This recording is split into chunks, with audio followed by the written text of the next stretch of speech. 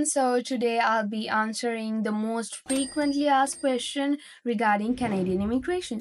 So the question today is who is the best immigration consultants available? So uh, in order for a firm to be the best immigration consultants, there are four factors. The first factor is legality.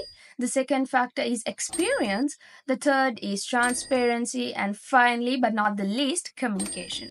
So, starting off with legality. For a, a firm to be regulated in Canadian immigration, they should be regulated with CICC.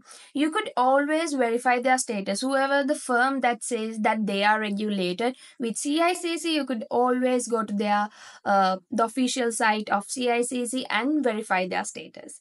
And secondly, experience. You have to check the business profile of this Canadian firm and check like the Google reviews and then check on their social media, check how well of a firm they are, how they are known in this field, what they are known in this field for.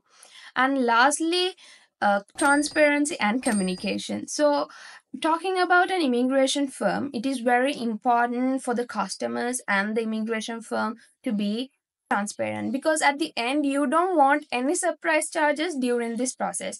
And this immigration consultancy firm should be very responsive to the questions that you have regarding your process. So you have to always check how well they are known for their transparency and the communication so finally the question really was who is the best immigration consultants firm so, talking about AMK Global Group, we are in this field for more than five years and we are regulated with CICC. Make sure to check that out in the CIC official page.